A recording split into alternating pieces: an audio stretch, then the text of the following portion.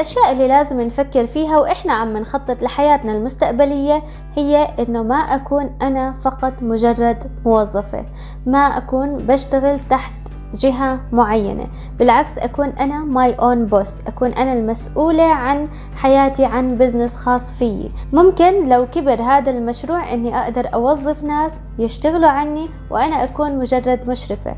أفكر كيف ممكن أنا لو غبت عن وظيفتي هاي إنها تمشي بدون وجودي ويكون في دخل عم بيجي حتى وأنا نايمة. ممكن بالوظيفة إنه يكون في عنا أمان وظيفي وكمان يكون الراتب الشهري تقريبا ثابت.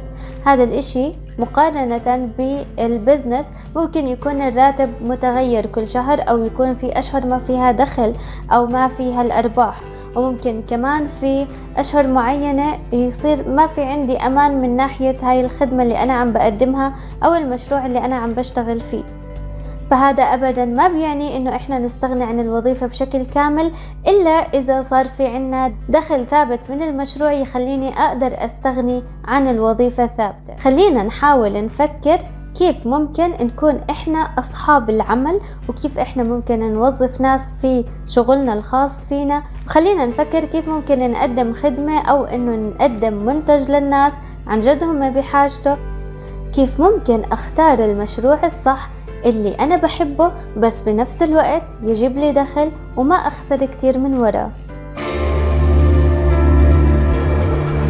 وهلأ رح نحكي شو هي الخطوات العملية اللي ممكن تساعدني أحدد هل هذا المشروع رح ينجح أو لا. لكن إذا لسه مش مشتركين بالقناة بسرعة روحوا اشتركوا بالقناة وفعلوا الجرس لحتى يوصلكم كل فيديو جديد. الخطوة الأولى لنجاح المشروع أني أفكر بفكرة خدمة أو منتج بدي أقدمه للناس تكون الناس محتاجيته ويكون إشي مختلف عن الأشياء المطروحة بالسوق أو إذا كان مشابه أو في إله منافسين يكون مقدم بفكرة غير تقليدية. الخطوة الثانية واللي هي أبلش على الخفيف بأشياء صغيرة وبراس مال صغير. أبدا ما نحط راس مال كبير ببداية أي مشروع. ببلش بمجتمع صغير مثلا من تجربتي الشخصية أنا كتير بحب الكروشيه والأشياء اليدوية. أول شغلة عملتها عملت أكاونت على الإنستغرام ونزلت عليه الشغلات اللي أنا بعملها. الشغلات اللي عملتها ما حطيت فيها تكلفة عالية. عملت كم من شغلة بسيطة كنموذج للأشياء اللي أنا بسويها ونزلت صور من النت لأشياء أنا بقدر أعملها. فبالتالي لما صار في عندي ناس تطلب أشياء معينة وصارت تطلب أشياء خاصة بأحرف معينة أو كلمات معينة وأشياء أنا بقدر أعملها فصرت أعمل على الطلب وأنزل على الصفحة فهيك ما بكون خسرت أي شيء أبدا.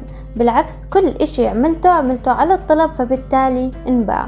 ولو كان في ناس مثلا تراجعت عن الشراء فهنا بتضل عندي بقدر استخدمها كاستخدام شخصي أو ممكن أعرضها وممكن حدا يشتريها بدون ما أخسر. الخطوة الثالثة واللي هي أبلش أتوسع شوي شوي في مشروعي. إذا الفترة الأولى مرقت بسلام وكانت ناجحة يعني كان في عندي أرباح على فترة منيحة بعدين ببلش شوي شوي أتوسع. أي شغلة بتوسع فيها؟ شغلة جديدة بدخلها على الساحة عندي بعطيها الفرصة إنه هل بتنجح أو لا. نجحت بكمل فيها ما نجحت بوقفها وبشوف شغلة تانية. إذا شفت المشروع عم بيكبر كتير وببطل عندي القدرة على إني أواكب كل إشي مع بعض في عنا تسويق في عنا نفس الشغل اللي مثلا handmade أو أي خدمة إحنا بنقدمها بدك ناس تساعدك. فبهاي الحالة أنا ببلش أوظف ناس تساعدني تشتغل عني شغلات معينة لأنه لو أنا بدي أعمل كل إشي ما رح يطلع بالإتقان الكامل مثل لما كل شخص يكون مسؤول عن جزئية معينة.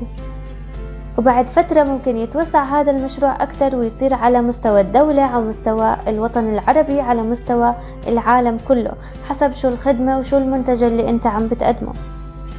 وما ننسى إنه أي مشروع بيحتاج لتسويق بيحتاج لذكاء في كيفية عرض هاي المنتجات أو هاي الخدمات.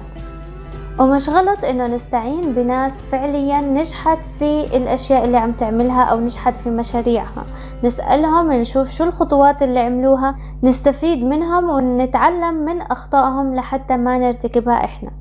والأكيد كمان مع التسويق لازم نتعلم كيفية إدارة المشاريع وكيفية إدارة المال لأنه كمان المال لو ما عرفت أديره صح رح أستخدمه كله وبالتالي ما رح يكون في عندي مساحة لتطوير هذا الشغل أو تطوير هذا المشروع.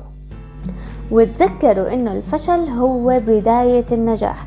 لما بفشل بخطوة معينة هذا الإشي رح يعلمني إنه هاي الطريقة غير صحيحة وما رح تفيدني. فبالتالي رح أتعلم طريقة تانية لحتى توصلني لهدفي وأحقق كل إشي بدي إياه من مشروعي. لاقوني كل ثلاثة في ومضة إفادة معي أنا أفنان حمادة. إذا عجبكم الفيديو اعملوا لايك ولا تنسوا تشتركوا بالقناة وقناتي التانية رح أترك لكم الرابط بصندوق الوصف. يعطيكم العافية.